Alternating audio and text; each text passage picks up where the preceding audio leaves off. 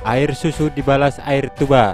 Sosok ini akhirnya polisikan Dodi Sudrajat terkait dugaan pencemaran nama baik.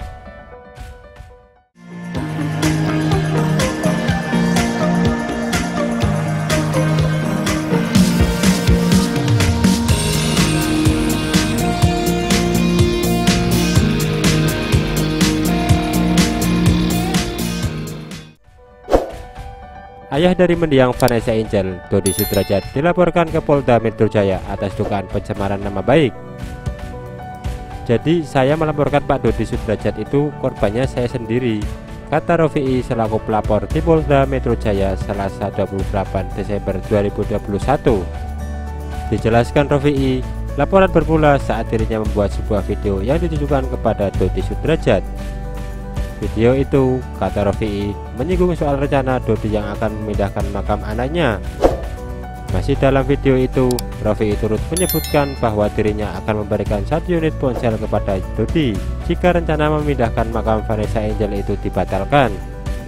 Namun, kata Rofi'i, ternyata video yang ia buat itu disalahartikan dan dimanfaatkan Dodi untuk mencemarkan nama baiknya. Dan yang paling sedih, kebaikan ketulusan saya dikatai. Biarlah anjing menggonggong, kafilah berlalu. Ucap Rofi'i kesal.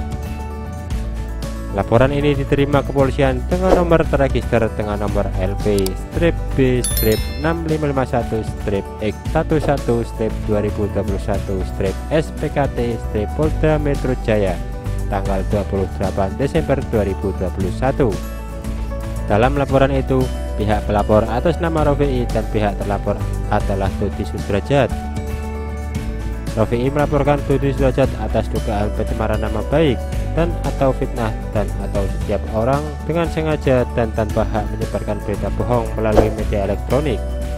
Bagaimana pasal 310 KUHP dan pasal 311 KUHP dan atau pasal 27 ayat 3 junto pasal 45 ayat 1 dan atau pasal 281 UU ITE